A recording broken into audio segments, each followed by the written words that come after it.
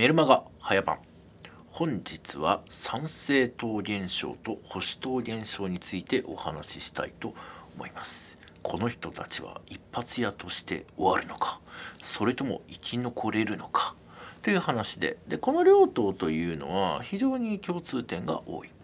最初は色物としてしか世間で見られてないんですね。まあ、一部にものすごい熱心なファンはいるんですけど世間的には色物もしくは無視。なわけですよ。で最初は政党じゃないんで世論調査に乗りません政治団体諸派としてしか扱われませんしかしいつの間にか例えば参政党の場合だったら議席獲得の勢い1から3議席かみたいなあの報じられ方され実際1議席取ったわけですよね。で日本保守党も今も最初はあのそういう扱いだったのが今や上位に食い込む前線するんじゃないかみたいな言われ方をしているわけなんですよね。じゃあ一体こういうふうに情報が流れてきた時にどういう読み方すればいいかっていうとネットの情報を信じてはいけませんってよく言われるんですけど、まあ、正確に言うとネットの情報だけを信じてはいけない情報源を一つに絞るっていうのは普通に良くないことなのでなんですけれどもこのネットの情報を信じてはいけないには2つの段階があるんですよ。でその2つの段階に参政党も日本保守党も当てはまると。まず第1段階。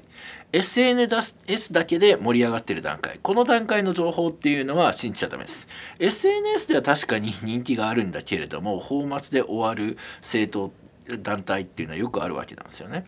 うん、だからこの段階でネットで人気があるからといって信じてはいけないわけですよ。ただ第2段階として SNS だけではなくてタブロイド紙とか週刊誌とか以外の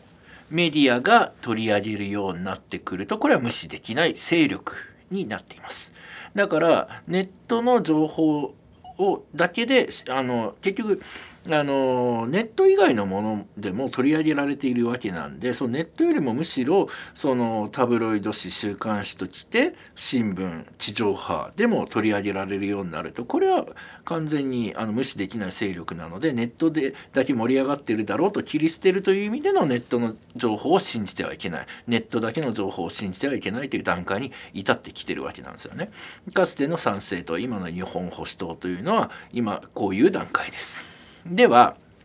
一過性の勢いが賛成とあった今日本保守党はついてきてるこれを地道な勢力にするにはどうすればいいかといった時に実はみんなの党が参考になります。まあ、最終的にみんなの党はあの失敗しましたけれどもいい時にはまあ参議院選挙で7議席ぐらい取ったりとかまあそういうこともしてるわけなんですよね。でキャスティングボートを日銀総裁人事の時に握ったということまでいけたわけなんですよね。正解で一定の勢力になれたわけなんですよね。じゃあなぜみんなの党が参考になるかっていうと成功も失敗も含めて参考になります。まあ、現在政界で勢力を持っているのといえば、まあ、公明自民共産、まあ、なんかね順番おかしいですけれどもこの人たちは言うに及ばず立憲民主党が生き残り野党第一党の地位を守り支持率でなんか自己過半数割れに追い込み政権交代するんじゃないかまで言われてるっていうのは理由があって勢力として地盤があるから。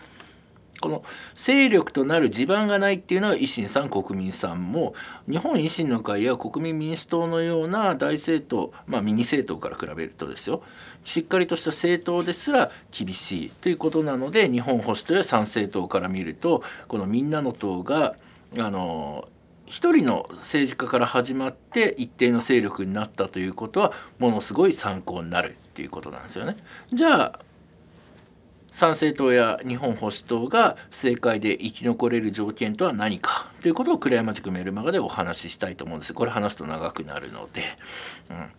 いうことなんですけれども倉山塾っていうのは月謝1,000円で、まあ、県政歯科である私と学ぼうという人たちが集まっている塾でございまして毎日6時メルマガが流れてきますので、まあ、今日はあの参政党現象保守党現象ですね、まあ、これをあのこの、まあ、参政党さんあるいは保守党さんにこの人たちなら日本は何とかしてくれるという思いを持った人に向けてですねじゃあ生き残るのはこういう条件ですよという歴史の法則みたいなものをお話ししたいと思いますのでぜひ黒山塾でお会いできればと思います。お待ちしてます。最後に告知でございます。5月3日クレ山塾東京支部で、えー、思いっきりあのこの辺にねあの場所が出ていると思いますけれども、えー、申し込みのねしていただければねあの5月3日といえば憲法記念日と称するゴミの日でございますからねゴミでするね嫌がるようなね日本国憲法というね憲法もどきを呪う日でございますんでですね。大体あのこの日のあの集会って午前中終わると思いますんであの他の集会出てから3時から倉山塾東京支部ね来ていただければあの結構あの塾生さんたちが悪乗りしたポスター作っておりますんでとはいうもののあの3人の現職弁護士の人があの倉山塾東京支部にはいますんでその3人の方と自由主義憲法草案というのを作ってみたんですね。いや本当にあの今までの憲法論理って何だったんだという話をしますんで、えー、最強の憲法論理真の憲法論理が聞きたい人は5月3日と、えー、できれば、えー、他の集会午前中出てから来てくださいねというふうな自信を持ってお届けします。ぜひお会いしましょう。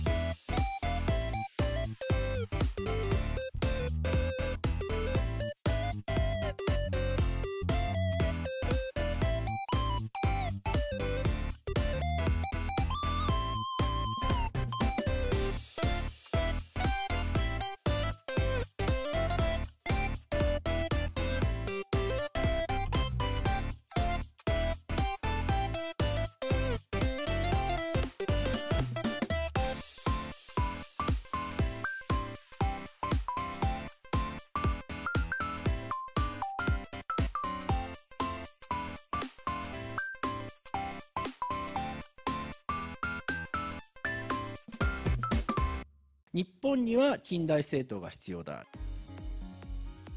近代政党というからにはちゃんとしたあのシンクタンクがなければならない。全くこれまでと違った局面に今直面しているのではないのか。その税金がどういうふうに使われてんだということに関して本当に意味のある使い方してるんですかチャイナが欲しがるような資源を持っている中でまだまだ全然使い切れてない分野が多いよ。